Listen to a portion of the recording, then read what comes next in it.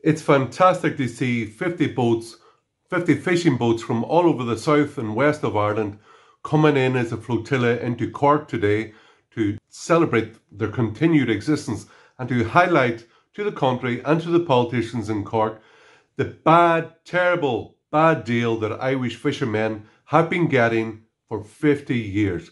The reason for that is our membership of the European Union and the Common Fisheries Policy, which means that Irish fishermen get a mere 15%, 50, exactly 15.5% of all fish caught in Irish waters. This is a complete scandal.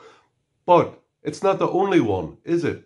Because if we look at our political and financial transaction with the European Union since we joined, it has been very negative for many people. Now, even according to government statistics, our cash receipts from the EU since we joined are 44 billion euro. But remember, the EU imposed 69 billion euro of private Franco German bank debt on the Irish people in 2011. They also progged our pension fund, our pension reserve fund worth 20 billion. And on top of that, in regards fishing, EU boats have taken 215 billions worth of fish out of Irish waters since we joined.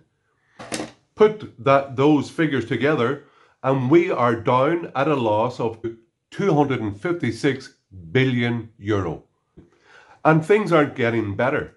Ireland has been a net contributor to the EU budget since 2013 and last year 2020 our net contribution to the EU budget was 1.5 billion euro. And that contribution is going to increase, not decrease, in the coming years. And people say, yeah, but Hermann, this whole thing about the EU, ah, it doesn't really affect us that much. Really? Well, let's look at it. The Climate Action Bill, which is going to destroy rural Ireland with its heavy imposition of the onerous carbon tax, which really hurts poor people who have to drive to work and who have to heat their home. That is the EU's baby, as is uh, the imposition of laws by our government uh, which are there to constrict freedom of speech. That's another EU uh, idea.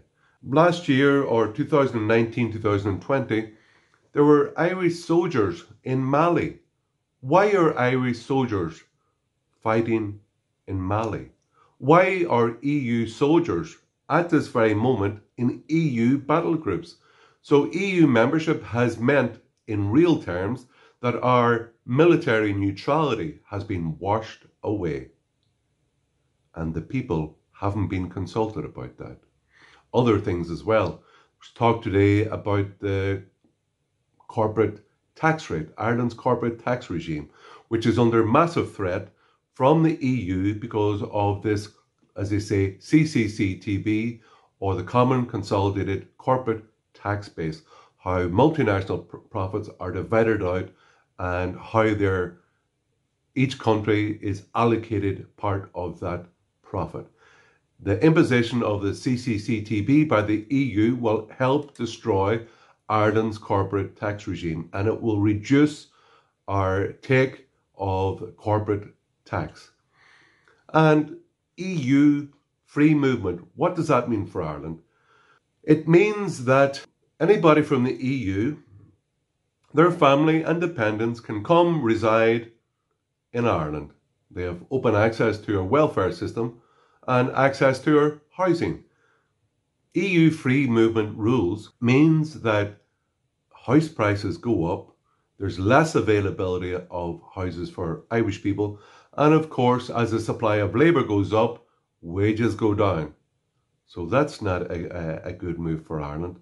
So, in so many aspects of our life, we should be, and we will, as a country, not reach our full potential until we are reunited and independent, that we can make our own laws, for our own good. And that's why fishermen who are protesting today in Cork should open their eyes and open the eyes of the whole country to the detrimental effect that EU membership has on not only on our economy, on our financial status.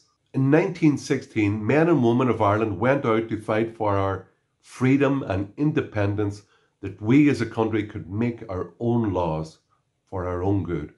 And ultimately, that's why the EU is bad for Ireland.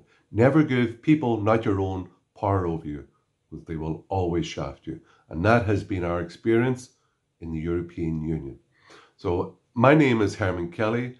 I'm president of the Irish Freedom Party, and I would ask you to consider all these issues in regards the money we pay to the EU, the laws that they can impose upon us against our will, and ultimately, that is not national democracy. So, what we want is a free people in a free country. And I'd ask you to come and join with me and fight for that. Gora Margaret